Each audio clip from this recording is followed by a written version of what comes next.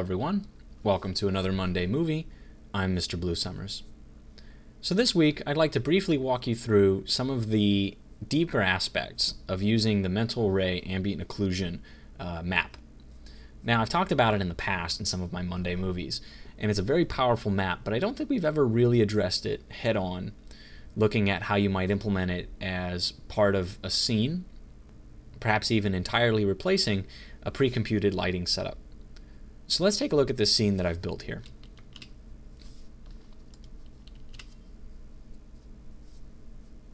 All I have here is a teapot sitting on top of a plane, both of which having a basic material.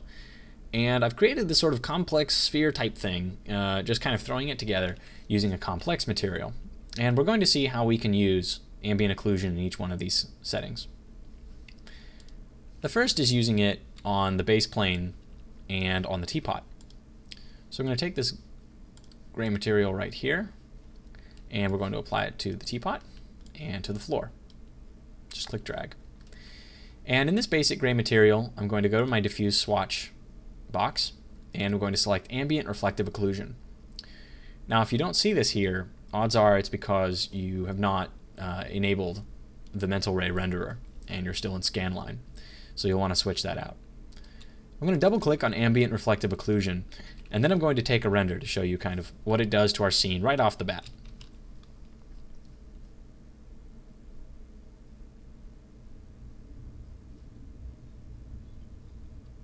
Now I'm not using any lights and I'm not using Final Gather. I'm not using any other special effects except for this material.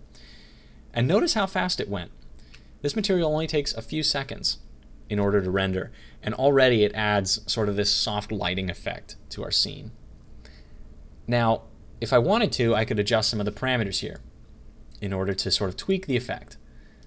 For starters, we can make it uh, a much more subtle effect using the samples. Right now it's set to 16 by default, and that sets sort of the graininess that you see right here. It sets the level of quality of this effect.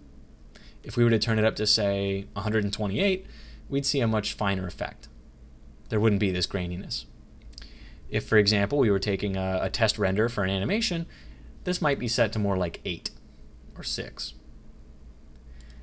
The, these bright and dark swatches here determine the two colors that are being traded off. Right now, bright is set to white. So these areas out here that are not encountering any geometry, just they're pure white.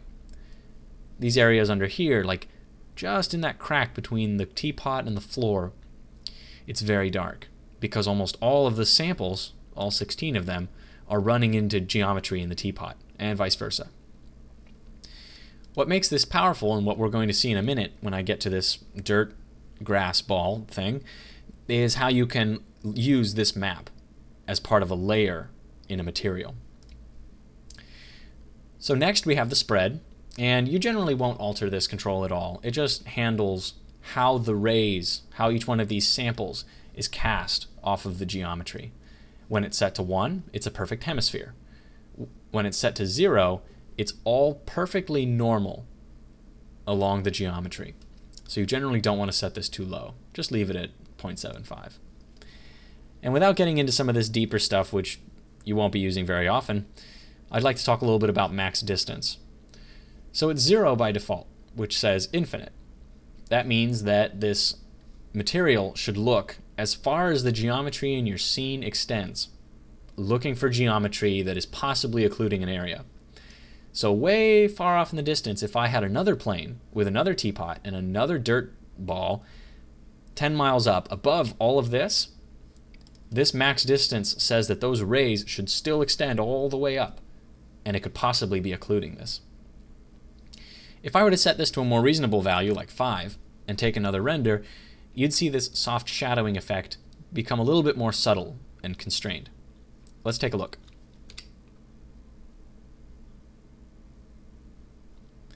So now you can see that just barely we're seeing this effect coming into play. Just barely beneath our two objects and a little bit here in the teapot. So this material is very powerful by itself. But what if we wanted to sort of massage it into an already defined material, like this ball here. So I'm going to turn my maximum distance back down to zero. And I'm going to select that ball material all the way up. This is just a standard material. Now, when we think about it, it's possible to mix this in as a blend material, to say as it gets darker, we want to blend into a shadow material. But that may not be the best case here, because we're using displacement maps and bump maps, which themselves could affect the way that the occlusion is set up. So what I'm going to do is go into my mix map, and I'm going to create a new layer in the mix map by clicking up here, Mix, and I'm going to scroll down to Mix. So I'm going to create a mix map that is composed in part of the original mix map. Keep my old map as a submap and click OK. And now you see that the mix map is in the dark. That's not where we want it. I'm going to swap it out. Color 1 should be black. Oh, there we go. So I, sorry, I didn't need to, swip, to switch it actually. So if you can see it, that means that it's in the right place. So for areas that are dark, it will be dark. So mix amount, we're going to set this map as the ambient reflective occlusion. It's going to span between black and white. It's going to mix between the two materials. And 16 samples, that's just fine.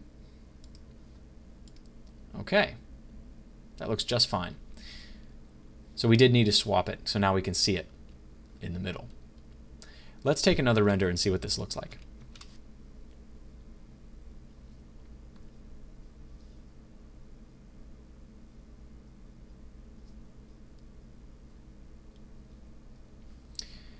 And there's the effect that we're looking for, especially out here along these bumps and ridges. You'll notice that they're now much more accentuated. And that's because some, just some, of the samples are striking other little mountain ranges on this object. And so then that is creating the, the darkening effect, these fake shadows.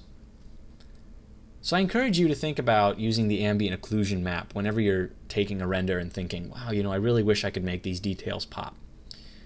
Ambient occlusion is a really powerful map, and the fact that it chooses between either two swatches or two maps makes it very versatile, whether you're applying it to a character, to a prop, or to an environment.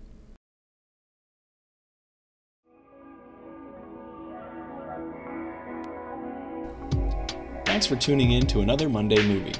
You can find all of my Monday movies as well as tutorials, resources, and downloads at my website www.mrbluesummers.com.